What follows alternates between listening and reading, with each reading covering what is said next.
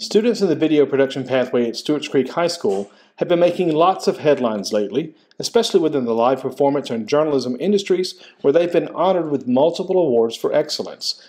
Under the direction of Chris Bissinger, a graduate of La Vergne High School and a veteran of the live event industry that's booming in the Nashville market, these students have been providing video production services all over the county, including complete coverage of the Smyrna Christmas Parade, middle school basketball tournaments, and during the pandemic, they were instrumental in producing and broadcasting graduation ceremonies for several of Rutherford County's high schools.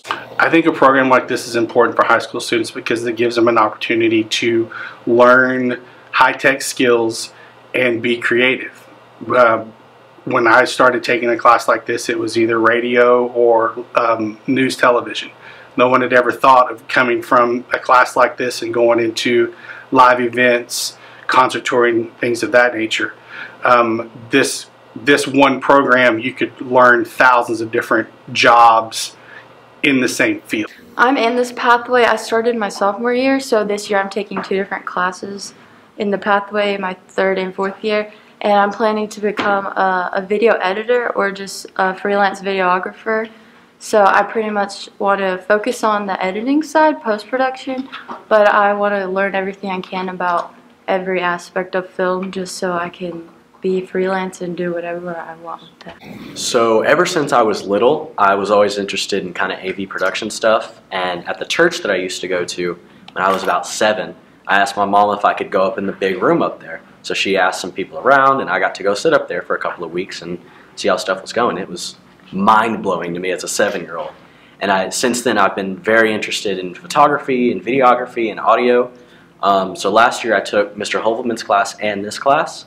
And out of those two, I decided to stay here. I'm your host, Jonas Harmon, and here's what's happened this week beyond the creek.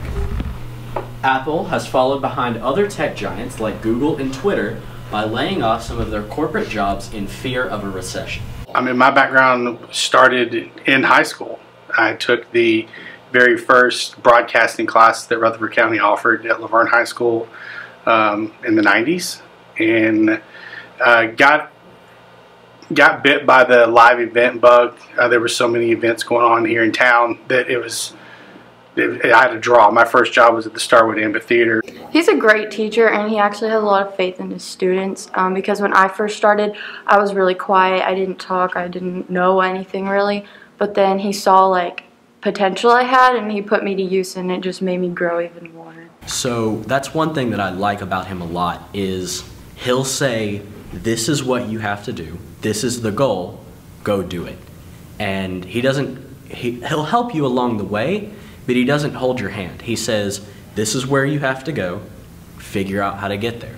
I'll give you all the tools and I'll give you all the instruction that you need, but I want you to figure out how to do it yourself. It takes, uh, it takes a lot of patience on my end because I'm I want to go, the light's going to happen, you know, it's time to go do it, and then you have to go, well, they're not ready.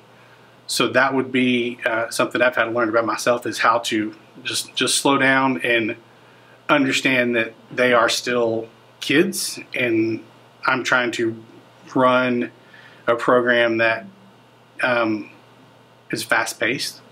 It's always changing. So we have to be doing that as well. 2022 was very good for us. Uh, we competed in a new category with the Tennessee High School Press Association for coverage of a live event that was non-sports related uh, and we took first place for our production of the Town of Smyrna Christmas Parade. All student led. They wrote it, they shot it.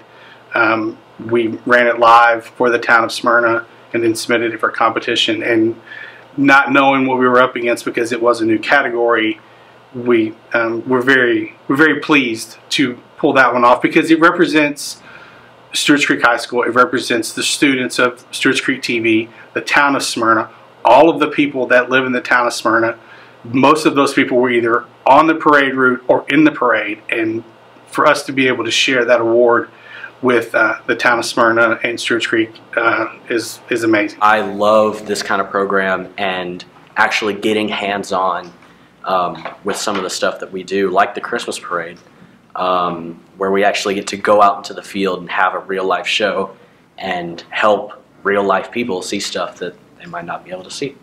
The program is also expanding with mentorship opportunities through Bissinger's contacts to the live event industry in Nashville. And this summer, students will be running cameras and working at CMA Fest. All this experience has proven to be a winning formula for students. Uh, we've had quite a few students that have gone on to farther further their um, involvement in the industry, whether it's through live event production or um, event marketing. Um, we've had some students that have worked on some of the big awards shows here in town, whether it's as a, a stagehand or running camera for a, album release at the Bridgestone Arena. We've had students that have done that. We've had students that have gone to the film industry that are award-winning film students, um, and they got all of their all of their training right here. For Rutherford County Schools, I'm James Evans.